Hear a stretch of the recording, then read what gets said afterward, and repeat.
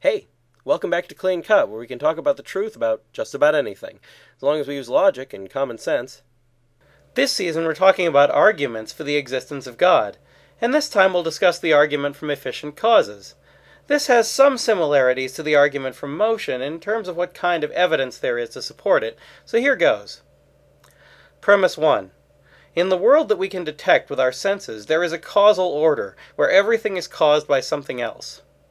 Premise 2. The causal order can't be infinite in the past because without a first cause of everything else, nothing would ever be caused. Premise 3. Nothing can ever cause itself, because in order to do so, it would need to be causally prior to itself, which is impossible.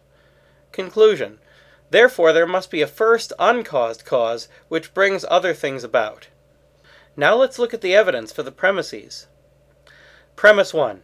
This is pretty clearly true. The things that we can see, hear, smell, taste, and touch are all contingent things and are all caused by other things. Things like clouds, drawings, people, animals, plants, stars, galaxies, and so on. Each is caused by something else. Premise 2. As with motion, a causal chain can't begin unless something begins it. Also, you can't have an infinite number of finite causes in a chain, which is another similarity between these last two arguments. Premise 3. This one's pretty obvious. Things can have a necessary existence, but it can't cause itself to exist. That's just impossible. Conclusion. The first premise tells us that the sensible world contains a causal order. The first two premises tell us that it's a finite causal order. By itself, this tells us that at least one cause must be first, since if there were no first cause, there wouldn't be a finite causal order. The third premise helps to tell us what kind of thing the first cause is that it's an uncaused cause, because it can't be caused by itself or by anything else. This seems like a very good argument. What kinds of objections could be brought against it? Objection 1. It may seem like every sensible thing is caused by something else, but there might be some sensible thing that isn't. Reply.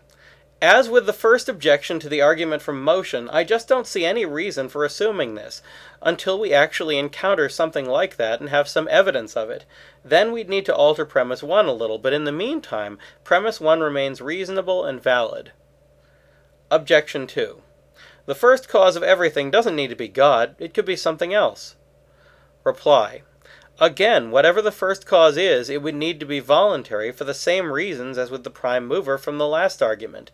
If it does things voluntarily, it must be able to make choices, and therefore have free will. So if that's not what's meant by God, then I'd like to know what would be. So it follows that a first cause of some sort must exist, which is a good piece of evidence to indicate that God exists. Next time, can the potential to exist teach us anything about God? That's all for now, so keep asking questions, and thanks for watching.